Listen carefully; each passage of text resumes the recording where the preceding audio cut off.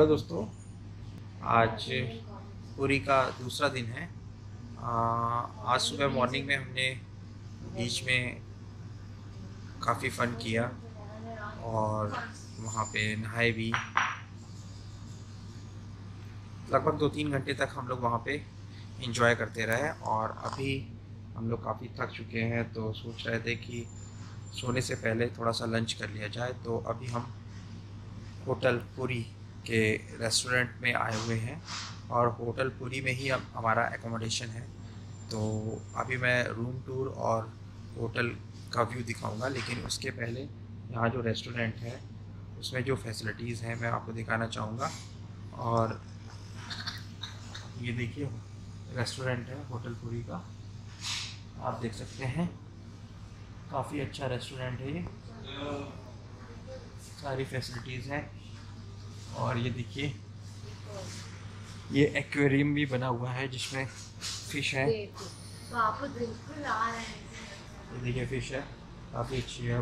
बाकी कूलिंग यहाँ पे बहुत ज़्यादा अच्छी है। भाभी भी आ चुकी है। तो ये जो रेस्टोरेंट है वो काफ़ी अच्छा है। और यहाँ पे फैसिलिटीज़ भी काफ़ी अच्छी हैं।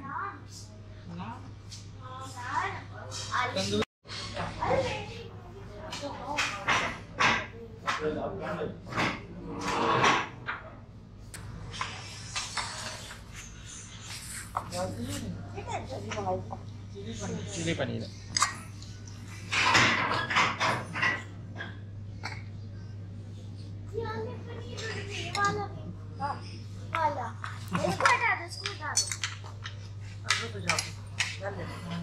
Thank वाला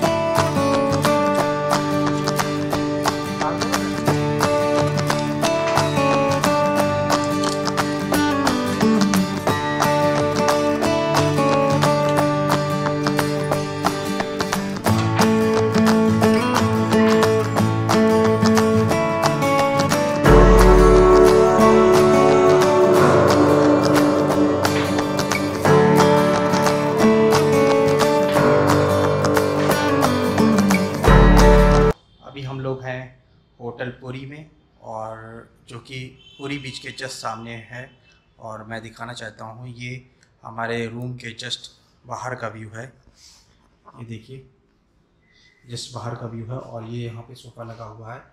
हमारा है room number eight zero one. तो चलिए चलते हैं। मैं आपको अपने होटल के रूम का रूम टूर करा देता हूँ कि ये रूम कैसा है और इसमें क्या क्या चीज़ें अवेलेबल है। दोस्तों, ये है room number eight zero one जब हम इसके अंदर चलेंगे तो ये फोर बेडेड रूम है। जैसा कि आप देख सकते हैं, एक डबल बेड यहाँ पे लगा हुआ है और एक डबल बेड ये लगा है।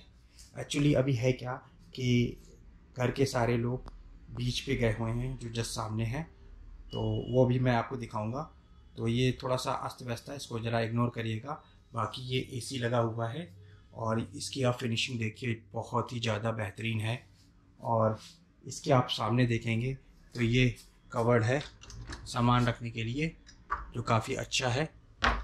और ये मिरर है, ताकि आप इसमें अपने आप को तैयार कर सकें।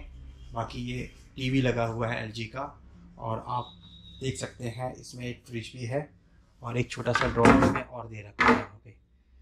तो ये रूम काफ़ी फुल फर्निश्ड है और इसमें हम लोग चार मेंबर हैं और मैं आपको एक चीज़ और दिखाना चाहूँगा कि यहाँ पे जैसे ही आप रूम का डोर ओपन करते हैं तो एक सोफ़ा मिलेगा जो थ्री बेडेड है और अगर मैं आपको बाथरूम के बारे में दिखाना चाहूँ तो ये रूम का बाथरूम है जो कि बहुत ही ज़्यादा अच्छा है।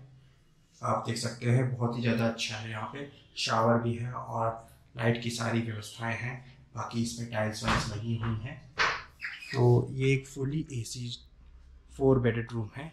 बाकी मैं दिखाना चाहूँगा इस जो एसी रूम की क्वालिटी क्या है। एक्चुअली ये जो रूम है, ये हमारे बीच के जस्ट सामने है। मैं आपको इसका व्यू दिखाता हूँ। चलिए दिखाता हूँ मैं आपका व्यू ये देखिए। इस रूम का जैसे ही डोर ओपन करेंगे तो ये मेन सड़क है। और इसके बाद आप देख सकते हैं, ये पूरी बीच है, जहाँ पे काफ़ी क्राउड इकट्ठा है। आप ये देखिए, पूरा नज़ारा। बहुत ही ज़्यादा अच्छी लोकेशन है इसकी। ये आप देख सकते हैं। और ये जो होटल है, वो इसके थ्री अलग अलग बिल्डिंग्स हैं। दोस्तों, मैं आप पूरी होटल के सामने का व्यू आपको दिखाता हूँ। ये आप देख सकते हैं, पूरी होटल है, जिसकी जो सेंट्रल बिल्डिंग है, इसके आप राइट में देखेंगे तो एक बिल्डिंग है और लेफ़्ट में एक बिल्डिंग है। टोटल मिलाकर यहाँ पे तीन बिल्डिंग है और इसमें एसी और नॉन एसी रूम्स अवेलेबल हैं और बीच में आप देखेंगे यहाँ पे रिसेप्शन और क्या कहते हैं रेस्टोरेंट की सुविधा अवेलेबल है। बाकी चलते हैं आप बीच की तरफ़ और देखते हैं कि घर के बाकी मेंबर्स क्या कर रहे हैं। मैं यहाँ पे तैयार होने के लिए आया था, क्योंकि अभी थोड़ी देर पहले हम लोग बीच में इंजॉय कर रहे थे तो कपड़े काफ़ी ख़राब हो गए थे।